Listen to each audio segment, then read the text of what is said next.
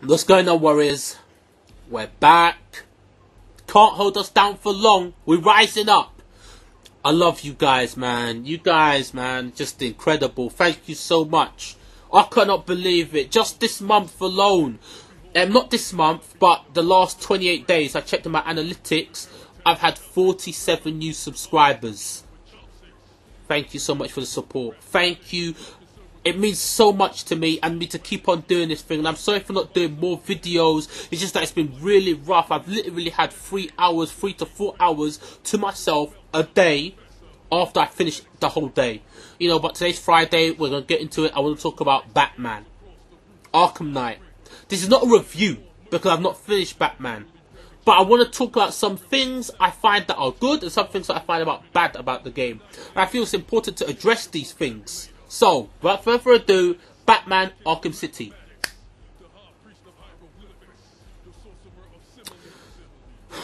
Arkham Knight. I'm sorry. I don't know. My brain. My brain. trying to think um, five steps ahead. So, what I want to talk about the Arkham Knight, got it right there straight off, was the game is a really good game. Eyebrow raising amazing. But the issue I have with it is it's it's lazy design. The game is so safe. They didn't take any risks. There's no NPCs. There's no sequences that happen outside of a very controlled story. There are so many bits of story that you can do with different enemies, with Riddler, with Firefly, with all these kind of characters that are on the world map with Penguin, with Two Face, and whatever's coming in the DLC. But that's not what I'm referring to. I'm referring outside the story. What is there to do? Nothing other than use your grappling hook, glide around Gotham City, go in your car, chase after enemies, chase after the Arkham Knight forces, or just street crooks and cars going around. There's nothing other to do and fight which the fighting is exactly the same as Arkham City. Exactly the same. There's no difference between the two. The difference comes when you're not fighting. When you're literally just walking. I prefer just walking around Gotham City than I do actually fighting. Because it looks so cinematic. When you see the rain effects on sashing on Batman, when you see it on the city streets, when you call the Batmobile and the Batmobile just comes and you just jump into it, or you just jump off a high building and you call the Batmobile, that kind of stuff is incredible. It's absolutely amazing. But outside of that, there's nothing else in terms of interaction with the world, in terms of moving parts, NPCs, um, combats, like um, a combat system. Even Witcher has got a combat system with um, the two swords. You've got a silver sword and a normal steel sword, which you use is like the silver sword, of course, for supernatural enemies, a normal steel sword for human enemies. You have all your fire, you have shield, you have active shield, you have Axii to control enemies, stun enemies, or manipulate enemies. You have Yrden to seal enemies, which is like the seal you can slow enemies. Um, there's damage points, which makes um, um, enemies' armor weaker or stronger. Different attacks have different strengths. It's so different with every single different type of armor, with every different type of potion or alchemist or alchemetics alchemy substance you use. That's Witcher. Yeah, that I'm talking about. You know, there's so many different moving parts. Whereas with Batman, there's no moving parts when you go into combat. It's just that the normal attacking and then bat, bat, bat, punching, kick, punch, kick, do moves, does um use your uh, special attack, goes into like a little kind of like cinematic move, and then you do something else. Outside of that, there's nothing else. They played it so safe, so safe. They don't want to take any risks with any moving parts. So of course nothing is going to go wrong with Batman. But even then, something still go wrong with enemies. That when you punch them or kick them, they start flailing out or glitching out and stuff like that. And that's just the reaction. That's just game physics. Like when you hit an enemy, it glitches out there. Very rarely, but it does happen. Yeah.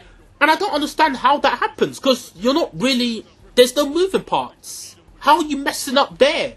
It's so odd to me. It's so odd to me. Now, I don't care when it comes to things like when you is Batman killing enemies or not, when he runs them over, where he kills them, kills them or not. They put an excuse for it. He electrocutes them or he sends them flying or it's like getting hit by an angry gorilla. Whatever. Whatever. I'm over it. Yeah. But there's certain things where something, when something does happen, that is semi-dynamic or semi-real time. It even buckles there. Like the game is not in real time. Because you can tell, like when say you grab an enemy and say you try to um, interrogate them, right? Everything that happens in the background will just shut off. You'll be like invincible in like an invincible barrier, and everything that was happening in real time, once you come out of it, is gone. The the, the scene is clear. It just shows that it's not in real time. Whereas uh, I can respect in Witcher, because at least in Witcher, things happen in real time. At least when you talk to somebody, that person's still going to be in the background. Yeah, it may glitch out because an enemy might walk through you.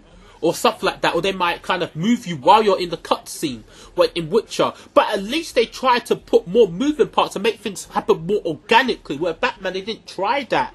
They took no risks whatsoever. As I said, the story's incredible. The characters are amazing.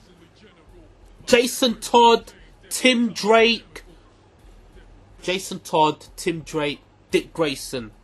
I think that's them. The Robins. Robin, Nightwing, Red Hood. Selina, um, Finney, Catwoman, um, Harvey, um, Two Face, um, Penguin. You know, Joker, Arkham Knight, Scarecrow, all these characters, absolutely incredible, eyebrow raising, amazing. But my problem is, outside of the story, what is there? Nothing. It's lazy, and I feel that's what's the problem. This is one of the problems with video game industry is that a lot of developers are going to see the success of Batman and see this as a successful module to use when it's not. There's no pushing in innovation. Imagine if in Japan or Asia they adopted this. Imagine if Final Fantasy focused on this. It'd be bad. It'd be terrible. It'd be terrible. And let me point you out to another thing, yeah, because they know this. When they first, when they first show Batman actual in-game cutscenes, um, in-game gameplay, like a week and a half before the game's release, that's unacceptable. That is absolutely unacceptable. They say we didn't want to show you um, the in-game or the combat because we didn't want to do any spoilers. Sorry, what's more of a spoiler? Story, showing us story elements or showing us in-game cuts, uh, in-game combat. Yeah? So don't try to twist words and play with us because we see through that shit. Yeah, what I respect with game like Witcher, the reason I'm using Batman and Witcher as an example is because those are the two first to me, big, original, current gen video games. They're the big two right now Witcher 3 and Batman. At least with Witcher, they tried. At least they went in with NPCs that have their own story, they have their own code in them, they have their own AI. When the main character, Geralt, interacts with anyone, something dynamic happens. He's got his own story. He's got his own facial expressions. He's got his own way of interacting with them, and they interact with him like their facial expressions and their voices, and they talk to you. So at least there's moving parts to Witcher. Whereas Batman's got none of that. There's no one to interact with on the world map. Yeah, there are certain things that will happen dynamically, like you'll be going flying through the streets, and then the like the uh, the, the man bat will just grab you, and that will shock the hell out of you. There are certain things that will just happen spontaneously but even that is controlled. Because it depends on where you are in the city that the game will put that like a bubble of that sequence will happen. Whether you go on a rooftop or whatever you do, that sequence will happen. It's controlled through story. So it's not dynamic. It's not real time. Now, I hope this doesn't happen for every single game. I hope so. I hope not. I hope not. I hope with games like, and I do believe games like Mass Effect and all these kind of games, but we do see games like the Mad Max game. That's copying the same module. So people are starting to believe that this is right because Batman is going to be so successful. And I'm scared. I'm scared of it. Because when you look at a game like, for example, Bayonetta, Bayonetta 1, Bayonetta 2 looks better than Bayonetta 1. But Bayonetta 1 is a much better game. Platinum Games actually made Bayonetta 2 a simpler game. And in doing so, they betrayed what Bayonetta is. But Bayonetta still got bigger claim. Bayonetta 2 got bigger acclaim than Bayonetta 1 ever did.